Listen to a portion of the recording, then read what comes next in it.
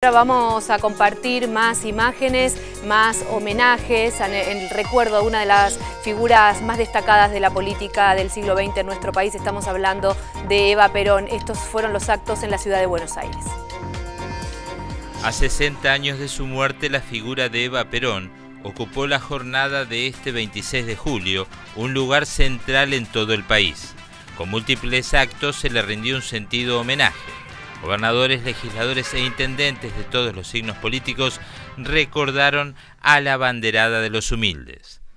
En la ciudad, la legislatura porteña inició el lunes la Semana Eva Perón, cuatro jornadas con una gran cantidad de asistentes que participaron de actuaciones musicales, manifestaciones de artistas plásticos en vivo, teatro, proyección de películas y visitas guiadas.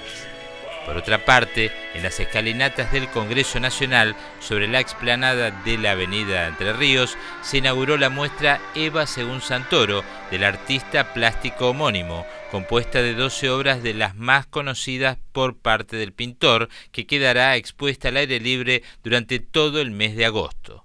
Luego, el barítono Ernesto Bauer y la soprano Eugenia Fuente, junto con una orquesta escuela de 60 adolescentes, cantaron por Evita y luego a las 20:25, hora de la muerte de Eva Perón, entonaron el himno nacional.